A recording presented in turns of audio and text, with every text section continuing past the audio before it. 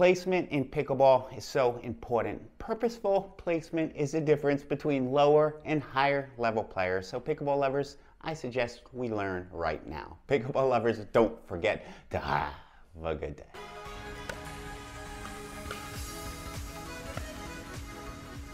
This point is a great illustration of what you should do if your opponents are approaching the kitchen hit at your opponent's feet, right? That's what they're doing. And I know it. I know it. I know what they're doing, but you can't stop it. It's a good technique.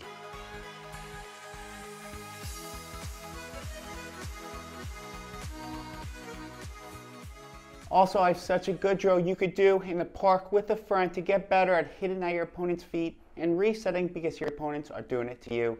Check in the description, save 10% on any paddle, and let's get started right now.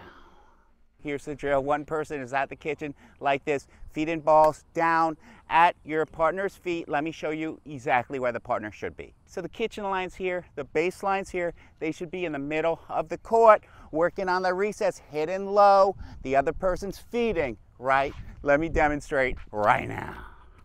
You mind if one of you guys help me out for like one second? Do you care if you're on YouTube? Like, okay, cool, cool. Are you good at resets? Uh, not as much, no, Let, yeah. Let's try a drill right now. When we're approaching the net, how hard is it to hit that ball at our feet? So why don't we hit that to our opponents all the time? We try to hit it away from our opponents. Don't we know a pickleball court is pretty small after all? Furthermore, if we go for that line, what might we do? We might hit the ball out, and with two people on the pickleball court, it's really easy to defend, so why don't we just hit it at our opponent's feet more? And that's why it's so important to target our opponent's feet. It really is, I'm not lying. At the higher levels, how many slams do you see? A ton, right? They can get the ball back, and you have to place the ball at their feet or angle it out wide, but let's place the ball at their feet because we can win the point because that's a most tough shot to defend. The main problem I have with a lot of my students I coach is they approach the kitchen too fast because your opponents are gonna hit at your feet anyway, right? So you're running and they hit at your feet and you're out of balance. So I would suggest we move more dynamically to the kitchen because our opponents, our good opponents, are going to hit at our feet and we need to be ready to reset.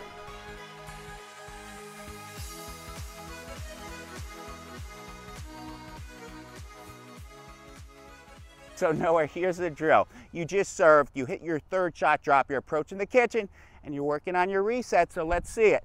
I'm hitting low shots right at your feet. We want your paddle low, body low, really work on resetting these balls in the kitchen. Try to take this ball out of the air if possible. Better, better, and it's a low line drive. It works. For amateurs, it works. The pros might hit a little higher, but that's beautiful. Try to get it in the kitchen area. He's a little awkward because he's not used to doing this drill, but you pretty much hit the shot all the time if you're a good pickleball player a lot better, beautiful, softer wrist that time. I love it, I love it. Better, that time you let it bounce, probably take it out of the air. But if you're doing this at home, three minutes with your partner, switch it up, you go back, and then after that, you can really try to play out the point, get to the kitchen, and really keep working on those resets.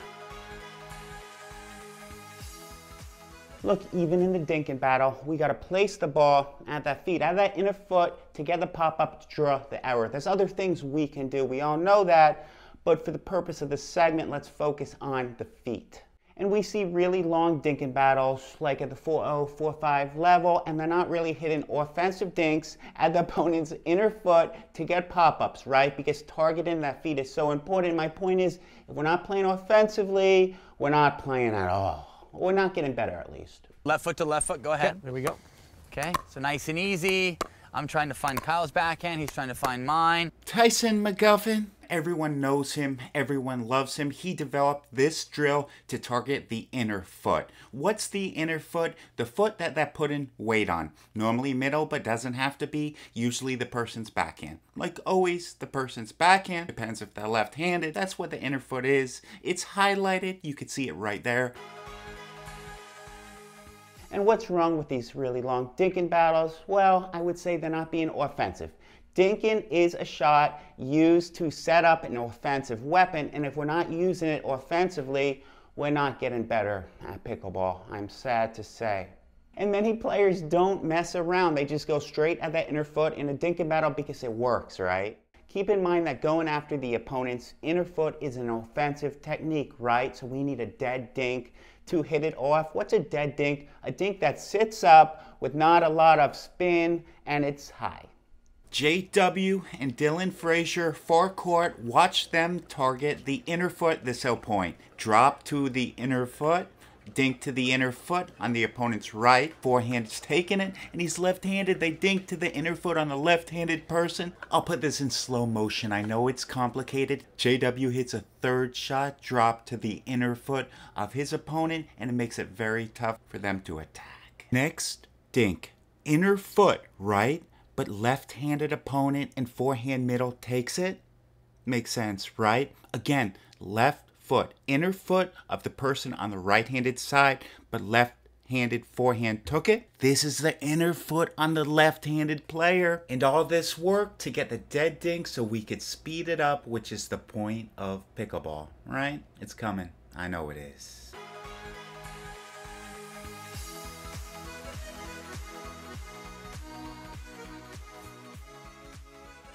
try to get a little farther out. See how you're here? I would try to have ready position a little farther out, right? Because for me, I can go either way. Try it. Better, better, better. Good, good. Beautiful. Perfect, perfect. Awesome, awesome, awesome, awesome. Beautiful. And and lots of times I'll be coming at that inner foot here, so it's gonna be a little tougher. Better, better. And he chooses to take that forehand, which you can do, right? That's a good pickleball technique. If you're bad at backhand,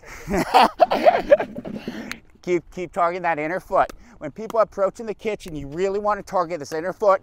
People don't do it enough because that's a tough shot. Thank you so much. Just met him. He probably thinks I'm weird, but who doesn't?